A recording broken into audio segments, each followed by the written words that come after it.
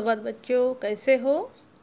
आज हम पढ़ेंगे कनक व्याकरण का पाठ क्रमांक दो, वर्ण तथा शब्द। वर्ण तथा शब्द, पृष्ठ क्रमांक पाँच। लिखिए कक्षा कार्य, लिखिए तारीख और दिन। वर्ण तथा शब्द। भाषा की सबसे छोटी इकाई वर्ण है भाषा की सबसे छोटी इकाई वर्ण इसे अंडरलाइन किए करो, क्योंकि इसके टुकड़े नहीं किए जा सकते। भाषा की सबसे छोटी इकाई कौन सी है? वर्ण है इसके टुकड़े नहीं किए जाते। वर्णों का व्यवस्थित क्रम वर्णमाला कहलाता है। वर्ण जो क्रम में लगते हैं, उसको क्या कहलाता है? वर्णमाला। हिंदी वर्णमाला में कुछ चौवालीस वर्ण हैं। हिंदी वर्णमाला में कितने वर्ण हैं? चौवालीस। जिनमें अकरा स्वर है और तैंतीस व्यंजन है। वर्णमाला में कुल चौवालीस वर्ण हैं, जिसमें अकरा स्वर है और तैंतीस व्यंजन है। वर्ण। वर्ण के दो भाग है, स्वर, व्यंजन। स्वर व्यंजन। स्वर में आता है रस्व दीर्घ। रस्व दीर्घ। स्वर। जिन वर्णों के उच्चारण में दूसरे वर्णों की सहायता नहीं लेनी पड़ती, स्वर कहलाते हैं। इनके दो प्रकार है रस्व और दीर्घ। जिन वर्णों का उच्चारण दूसरों की सहायता नहीं लेना पड़ता। वर्णों का उच्चारण में दूसरों की सहायता नहीं लेनी पड़ते, उसे कहलाते हैं स्वर। इसके दो प्रकार है। स्वर के कितने प्रकार है? दो रस्व और दीर्घ। अ, आ, ई ई, उ रु, ए आई ओ, औ। रस्व स्वर कौन से है देखो? अ, ई, उ, रु। दीर्घ स्वर, आ, ई, उ, ए आई ओ, औ। ये हो गए दीर्घ स्वर। फिर है व्यंजन। फिर क्या है? व्यंजन।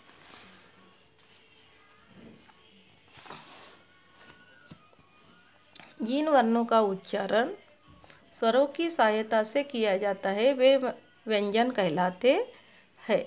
जिन वर्णों का उच्चारण स्वरों की सहायता से किया जाता है, वे व्यंजन कहलाते हैं।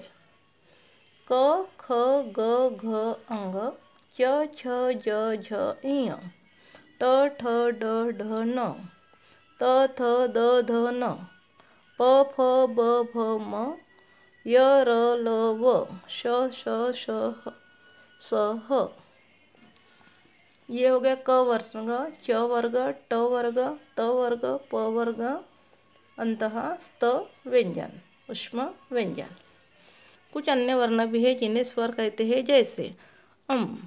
अम ये क्या हो गया? अनुस्वार। शंख, ठंडा, तिरंगा।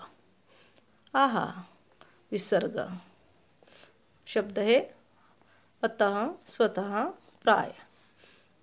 ये है अनुनासिक काज गाव, बांसुरी। संयुक्त व्यंजन। दो या अधिक व्यंजनों से मिलकर बने व्यंजनों को संयुक्त व्यंजन कहते हैं। कि संयुक्त व्यंजन किसे कहते हैं?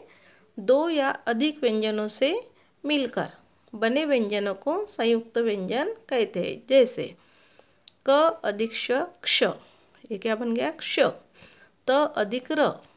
त्र यहाँ पे दो व्यंजन आई है। त भी आया है और र भी आया। ज अधिक अ, ज्ञ। श अधिक र, श्र। अन्य बदले रूप वाले व्यंजन ड, ढ। आगत, ध्वनिया। ज फ आ